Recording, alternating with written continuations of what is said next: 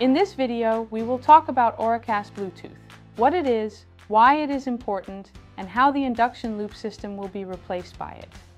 My name is Ilona, Product Manager at Online Hearing Aid, and today we discuss a technology that will not only impact hearing aid users, but also everyone with headphones or earbuds, namely Auracast Bluetooth. Auracast is a new Bluetooth technology that allows hearing aids to receive audio wirelessly from various sources such as TVs, phones, laptops, and even public broadcasting systems. You can think of it as a kind of sound broadcast that anyone with a compatible hearing aid can receive, provided that your hearing aid has this feature. For hearing aid users, Auracast brings many advantages.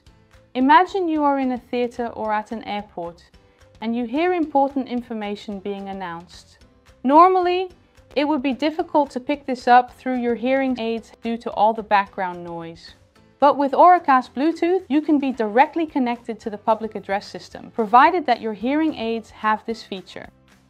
You hear everything very clearly without noise and do not need to use any extra accessory for it. Many hearing aids still use the induction loop system, also known as telecoil. This system is designed to receive sound wirelessly in public spaces like theatres, churches, stadiums, where an induction loop is installed.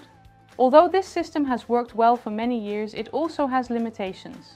For example, it only functions if there is an induction loop system present and the sound quality can vary depending on where you are located in the room.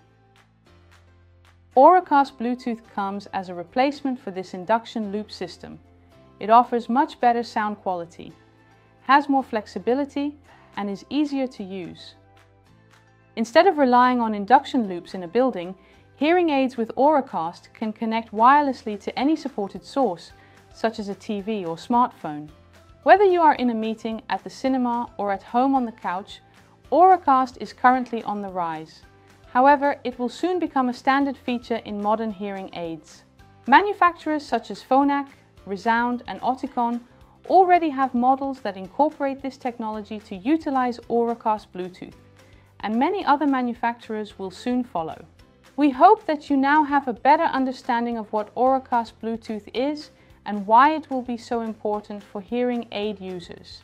It is a super interesting development that will bring a lot of convenience and improvements. Do you want to stay updated on the latest developments in hearing cells and technology? Then don't forget to subscribe to our channel. Also, click the like button and share your thoughts in the comments. Thank you for watching and see you in the next video.